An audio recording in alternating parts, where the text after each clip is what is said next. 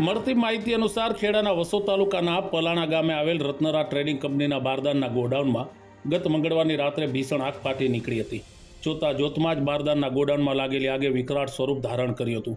આગ વધુ પ્રસરે નહીં અને મોટી જાનહાની અટકે તે હેતુથી બનાવની જાણ નડિયાદ ફાયર કંટ્રોલને કરવામાં આવતા જિલ્લા ફાયર વડા પોતાના સ્ટાફ કર્મીઓ સાથે ઘટના સ્થળે દોડી આવ્યા હતા, જેમાં ત્રણથી વધુ ફાયર બાઉઝરો દ્વારા કલાકો સુધી પાણીનો છંટકાવ કરી આગ ઉપર કાબૂ મેળવાયો હતો.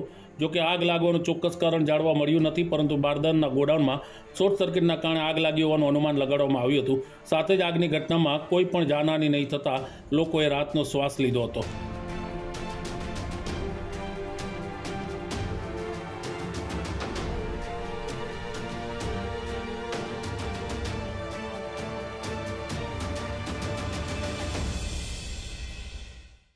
ઘટના નડિયાદ ફાયર કંટ્રોલ રૂમને જાણ થયેલ કે સાડા આઠ વાગ્યાની અરસામાં કે પલાણા ગામ વસો તાલુકાના પલાણા ગામે રત્નરાજ ટ્રેડિંગ કંપનીના બારદાનના ગોડાઉનમાં આગ લાગેલ છે. તેથી હું ફાયર બ્રિગેડની ટીમ સાથે અહીંયા વોટર બાઉઝર એક લઈને અહીંયા આવી ગયેલ.